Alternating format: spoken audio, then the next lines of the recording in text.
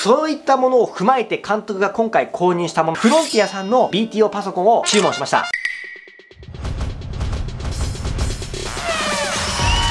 たかっこいいね10ヶ月経ちましたデスクトップ周りを紹介していきたいと思います。ナビ危ないよ。ナビ危ないよ。パソコン来るよ。パソコン来るよ。パソコン来るよ。こちらがですねフロンティア。ワクワクするぜ。開けます。オープン。おおでかいな。フロンティアさんは1年間ついております。思った腰がぶっ壊れる、うん、よいしょ。はいはいはいはいはいこちらが。きた。かっこいいぜ。前のやつよりでかいですね。カメラ寄ってください。で、まず下にメーカー、フロンティアとパソコンを冷やすための送風の部分ですね。そして、あーコア i9。監督はですね、今回、ブルーレイではなく DVD にしました。端子ですね。こちらが電源ボタンです。リセットボタンなんかあるんだ。音声、あとヘッドホン。で、USB3.0 が2つに、これが普通の USB から。横行きましょう。こういった形ですね。波どけて。かめっかしい電源のコンセントです。え、ファンが埋め込まれております。が2つと、え接続禁止。続きまして、ここがインターネットの有線ケーブルで、この端子もついてる。HDMI 端子が2つと、ディスプレイ端子が2つ ?3 つかな？余ってるので、拡張することができます。どうせだったら見てみましょう。この金具を外して、オープンこっちじゃなかったオープンおおはい、というわけで、まず目に入るのがこちら GForce RTX グラフィックボードです。そして、こいつが電源ユニット 850W。今入ってるのがハードディスクかな？はい、というわけで、えー、こういった形のパソコンです。いやー、かっこいい。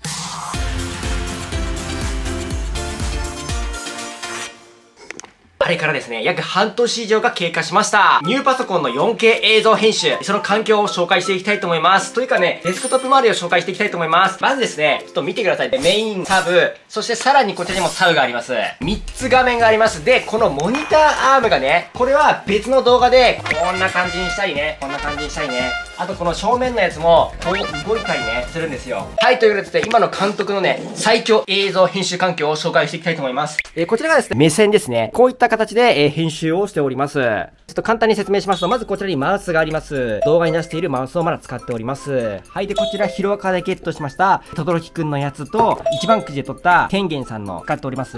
で、ここにスピーカーが2つついていて、えー、左右から音が聞こえるようになっておりまして、キーボードもですね、動画に出しておりますね。まあ、あとね、ここのね、チューブボックスっていうもうコントローラー、この後ね、動画出していくので、はい、で、あとこちらですね、スマートフォンを、これ本当はですね、ワインをですね、置くやつなんですけども、スマートフォン置き場として役立っております。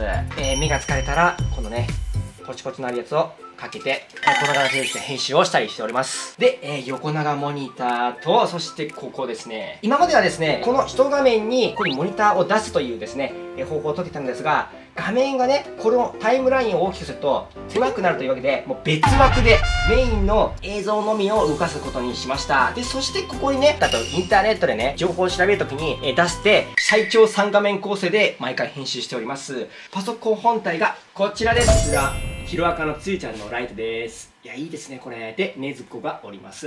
えー、ブルーレイにも今変更しております。これなんですけども、別につけたんですけども、SD カードがなんか今読み込めなくなっちゃって、えこのやつで、え SD カードを毎回読み込んでいるということにしております。中見ていきたいんですけども、ちょっと見てみますね。はい、開けますね。はい。はい、というわけでこちらがですね、パソコン本体となっております。まずですね、前回より変わったところがですね、まずハードディスクをめちゃくちゃね、増設しました。いや、いいね !GForce この光り方。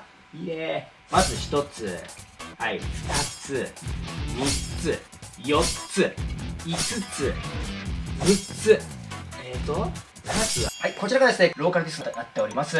で、まずですね、メインとなるのが、こちら約1テラのローカルディスク C ですね。こちらがまず最初から付いているものですね。えそして 4K がバカクソ重くて、今少し減らしたんですけども、これがもう入りきらずに、え最近ですね、6テラのですね、撮影素材庫同じものをですね、セカンドとして入れております。なんで映像はこいつ、入りきれない場合はこちらに入れております。7個のですね、別枠のハードディスクがこの中に埋め込まれております。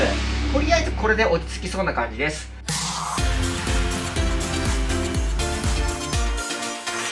では早速ですね、編集画面を見ていきたいと思います。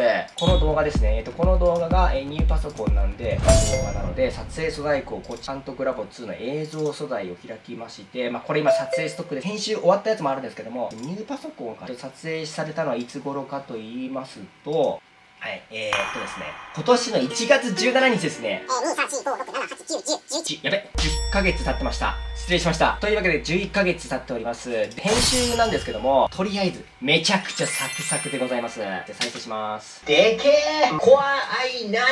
監督はですね、今回、ブルーレイではなく DVD にしました。監視ですね。はい、というわけでですね、例えばタイトルをここに入れたい場合なんですけども、タイトルボタンを押して、押して、えー、111。はい、見てください、この、すごいフリーストレスな感じ。もうすぐ打ち込んだら入れれますよ。いやー、前回の動画見た方、わかりましたよね。まだできない。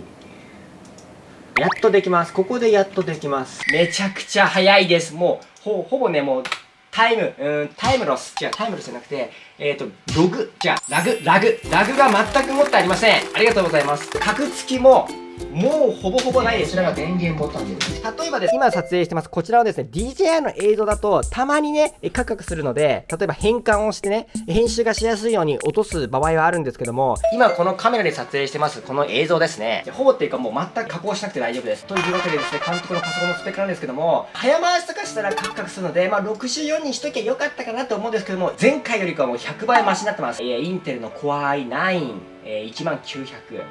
ですね。はい、というわけでですね、こんな形でですね、監督ラボの研修環境が整いました。今のところですね、前回のもうね、ひどい環境に比べたらもう1000倍マシになっております。これからもですね、最高な動画、面白い動画、テンポがいい動画、興味がない内容でも面白く見てしまうような、そんな動画をですね、これからお届けしていきたいと思いますので、ぜひとも今後もよろしくお願いいたします。はい、えっと、ナビがこっち見てるので、ちょっと最後にナビを見せします。はい、ナビはい、こっちだよはい、笑ってはい、というわけで、また次の動画で会いましょう !24 万ですね。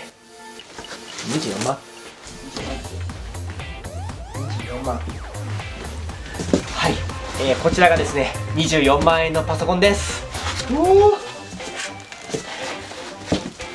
おでかいな、これ。